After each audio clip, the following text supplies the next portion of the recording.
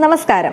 റെയിൽവേയുടെ പുതിയ time table പരിഷ്കാരങ്ങളിൽ കേരളത്തിലേക്കുള്ള മൂന്ന് തീവണ്ടികളുടെ പ്രയോജനം നഷ്ടമാവുന്നു.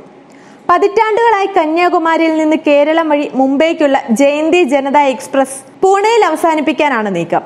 ഇതുപോലെ സിൽച്ചാർ തിരുവനന്തപുരം എക്സ്പ്രസ് കോയമ്പത്തൂരിൽ അവസാനിപ്പിക്കാനും നീക്കമുണ്ട്.